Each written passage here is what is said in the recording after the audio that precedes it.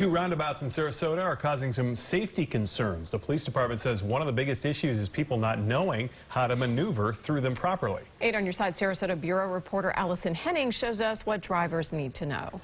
Officers with the traffic unit tell me they spend time at these roundabouts every single day. As you can see, there's a lot going on out here with construction still underway.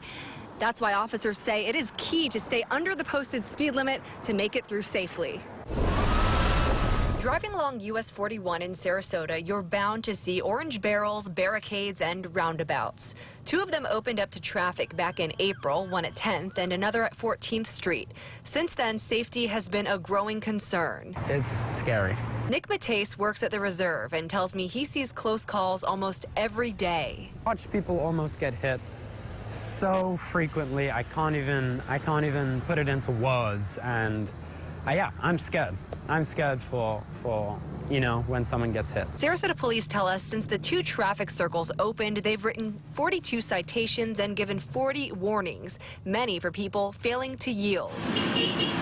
People will just fly through, and if you're there, you know, it's pretty much up to you um, to, to save yourself. Because even if you have the right of way, they'll still hit you, which is terrifying. Since April, police say there have been eight crashes at the two roundabouts, two with injuries. Officer Jason Frank with the traffic unit tells 8 on your side education continues to be a top priority. If you're in the roundabout, you have the right of way. If you're entering the roundabout, you yield to the person inside the roundabout. There are two more roundabouts planned for this small stretch of US 41. The city tells me the one at Fruitville Road is set to open this fall.